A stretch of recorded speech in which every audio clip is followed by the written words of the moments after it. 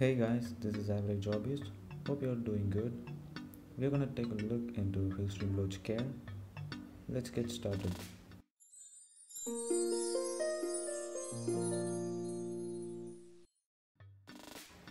In order to make it short, crisp, and simple, I've decided to share you 5 do's and don'ts based on my personal experience to take care these Hillstream loaches. You can compare this with your aquarium's parameters. And most importantly, if you are even a beginner, you too might get an idea of how to care them. And don't be worried, they are not as hard as you think. They're actually super easy to take care if you can give them the right environment they demand.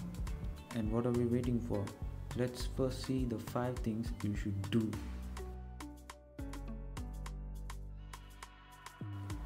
Scape stands in this list at number 5 because they are the least necessity these loaches demand. Because they can simply hang on on the walls of your aquarium glass and they don't really need them. Although this scaping is not really necessary, but adding them to your aquarium will make them feel like they are in a natural habitat and and they could be a great resting spot or a chat room for them who knows so i personally feel it's better suggesting you to replicate their natural environment where they come from with your aquascaping ideas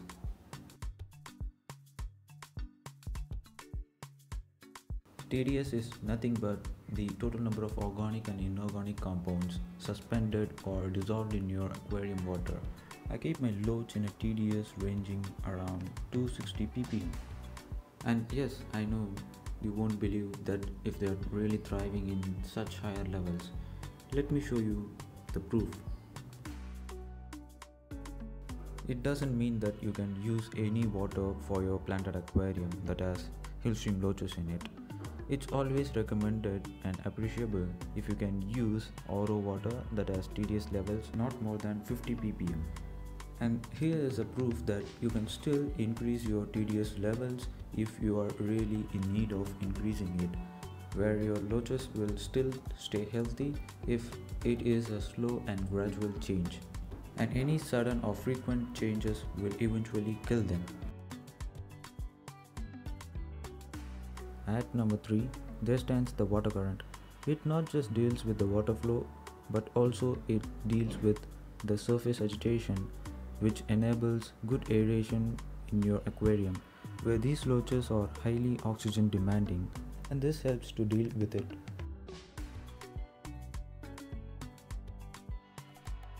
To provide enough food for these scavengers, we can't encourage excess algae growth in our aquarium.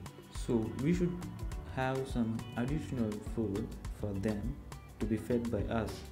Such food includes frozen or freeze dried bloodworms, but I personally feel that algae wafers are way more better and safer.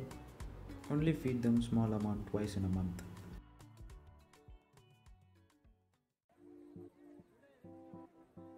Finally, we have arrived to the most important and the prime factor of Hillstream loach keeping. It not just applies to these loaches, but it applies to the all livestock in your aquarium. The main part of doing water change is that you shouldn't do the entire water change. You must keep changing your water every week for about 20 to 30 percent and additionally install a skimmer so that you can collect all the oil film on the surface if you can follow this, you don't need any test kits in order to test ammonium nitrites, pH or KH. This will keep you stay away from spending time and money for test kits and that's all the 5 things you need to do to fulfill their requirements.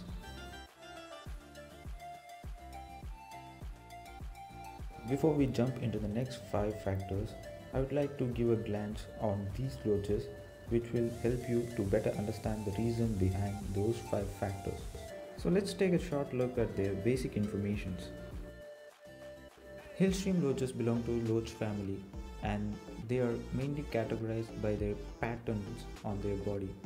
And those patterns are named such as spotted, striped, reticulated and even butterfly.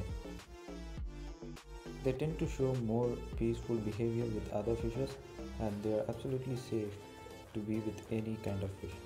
Their lifespan is about 8 years and it might vary depending on the condition they live. They grow to a maximum of 3 inches which is up to 7 centimeters. The male and female are identified by the shape of the head when being viewed from the bottom of their body. Hope you guys got a better idea about them now. Let's jump into the 5 things you need to avoid.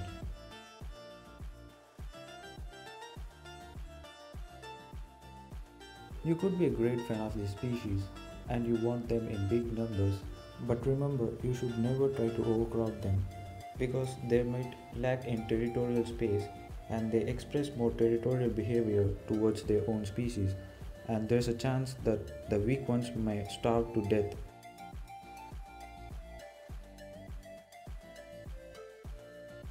Any decorative item you use in your aquarium, either it's artificial or natural, make sure they don't have any sharp edges.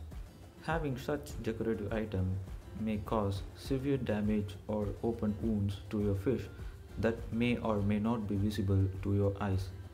As they spend most of their lifetime grabbing and surfing over any surface, there might be a chance they could repeatedly hurt themselves. This will definitely cause them stress and fall ill. It's better to avoid buying such objects rather than trying yourself to smoothen up them.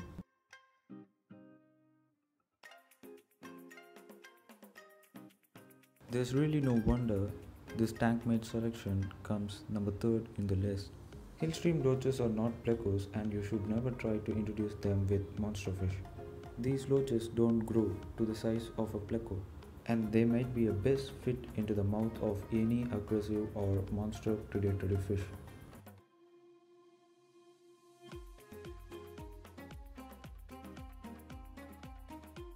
Water temperature comes at number 2 because of their inevitable requirement. Loaches do well in an aquarium that has water on the cooler side. Their temperature requirement ranges between 18 to 25 degrees Celsius, which is 65 to 77 degrees Fahrenheit, and you need to install either a chiller or a cooling fan in order to achieve it. If you can't afford a chiller, at least install a cooling fan which is more cheaper compared to a chiller and you can reduce your aquarium water's temperature ranging from 2 to 4 degrees Celsius and that is enough for you to keep up the temperature in the margin. And also cooling fan has an advantage of easy installation and its maintenance. The reason and fact behind this water temperature maintenance is that the more cooler the water, the more oxygen it holds.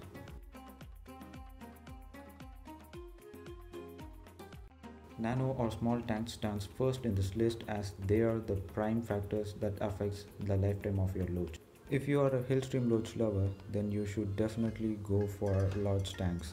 We have discussed 4 factors to be avoided to keep these loaches and even if you have successfully avoided all those factors, you might still end up losing your loaches if you put them in a smaller tank. It's because the more smaller your tank is, and the more faster your water parameter fluctuates. Beneficial bacteria need to work as twice as fast as they can when compared to larger tanks.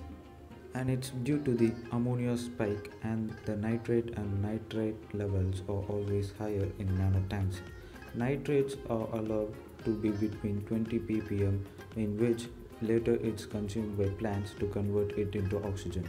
Additionally, disease will spread more faster in nano tanks from one fish to another and also to avoid lack of territorial area if you have two or more loaches then it's good to avoid nano tanks and larger tanks are always advisable. And that's all you need to remember. Hope this information helps you take good care of them. See you in the next video. Until then happy fish keeping. Bye bye